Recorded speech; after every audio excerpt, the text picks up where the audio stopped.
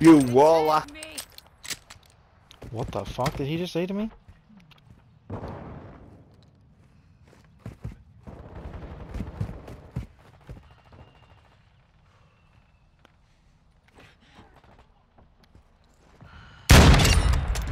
Warlock him. Wall hacking? Oh, you're pathetic.